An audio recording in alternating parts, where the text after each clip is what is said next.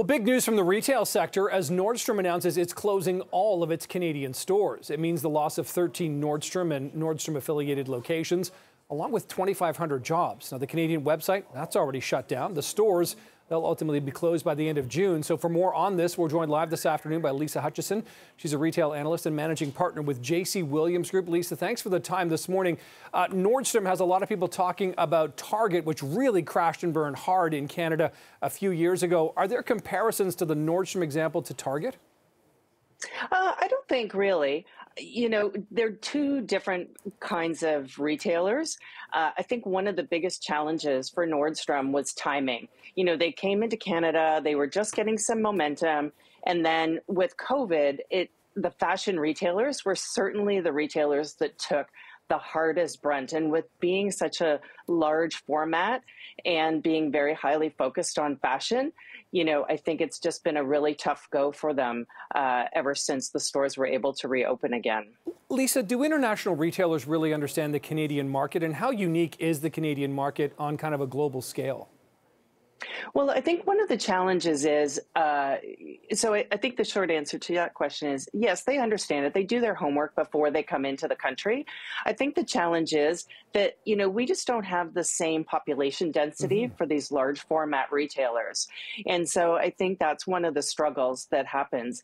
Um, the other is, you know, the customer since COVID has learned that, you know, they can shop online for something that's just a commodity or something that's not unique, but they want to go to a bricks and mortar location for something, some an exciting experience, um, some sort of exper- experiential um, interaction with the brand. And I think that that's somewhere that Nordstrom has fallen off. You know, they've really lost their key differentiator the, some of the luxury brands are now being offered in freestanding luxury mm-hmm. stores and uh, you know they have a restaurant and they have a bar but you know there's nothing else super exciting about them yeah, that's interesting. And so, uh, what's your sense in terms of the expectations, for example, of American or international retailers? We've seen H&M closing some stores lately as well. When they come to Canada, what do they think they are? What do they expect out of this market then?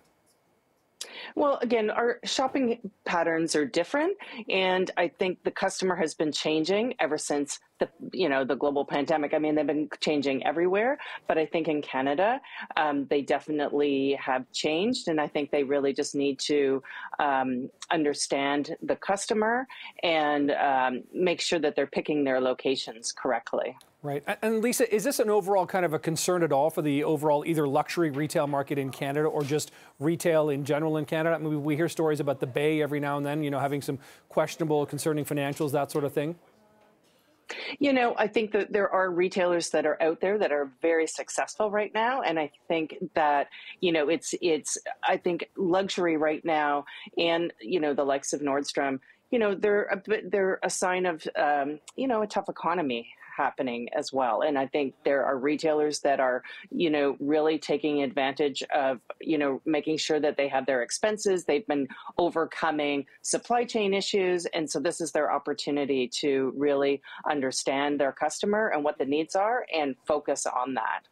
And Lisa, I know you're at an international conference talk, you know, talking retail right now. Are there any other concerns on the retail horizon when it comes to the Canadian market that you're aware of that you know shoppers should potentially be looking out for? I'm thinking about making sure you use your gift cards or credits you may have at other stores.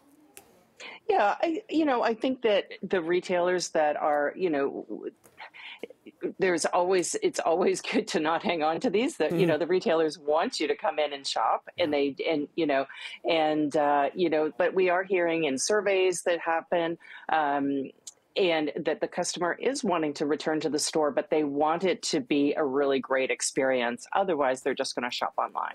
Right exactly and that's so easy to just click away isn't it? Especially with the weather we're in for this weekend. Lisa hutcheson retail yeah. analyst managing partner with jc williams group. Thanks for the time this afternoon. Do appreciate this